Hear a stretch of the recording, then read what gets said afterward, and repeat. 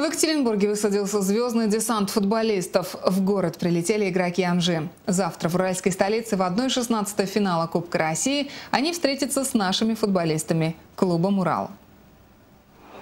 Почетным гостям и прием особый. Игроки Анжи выходят не из обычного международного терминала Кольцова, а из вип-зоны. Оно и понятно. На кого ни посмотри, звезда мирового масштаба. Здесь и тренерский состав Гус Хидинг, Роберто Карлос, да и игроки не менее именитые. Особо среди всех выделяется фигура Олега Шатова. Бывший полузащитник Урала теперь выступает в составе махачкалинской команды.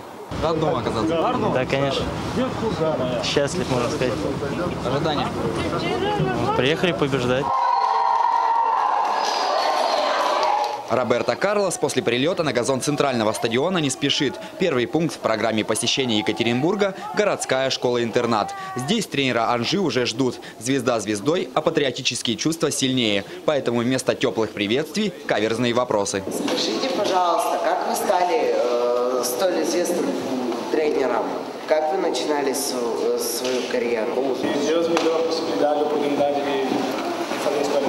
Очень много, очень много занимался, чтобы. Воспитанником интерната Роберто Карлос рассказывает практически все о своей жизни. И что начинал свою карьеру в Бразилии, и как потом 11 лет играл в мадридском Реале. И, конечно же, чем он занят в промежутках между играми.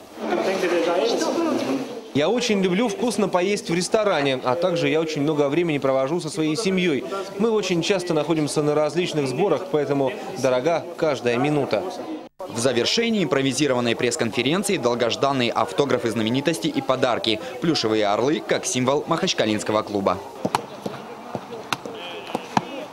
Тем временем игроки клуба уже вовсю готовятся к предстоящему поединку. Несмотря на резкую смену климата, до этого футболисты играли во Владикавказе, спортсмены чувствуют себя превосходно. Полон сил и главный тренер команды, как его называют в России, Гус Иванович Хидинг.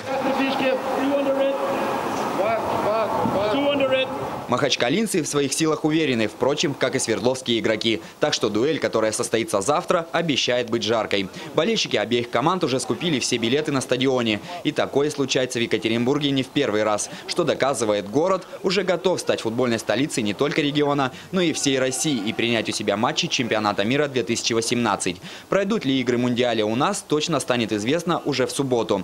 Но уже сейчас ясно, Екатеринбург в числе фаворитов. Александр Кесель, Александр Соливанчук. События ОТВ.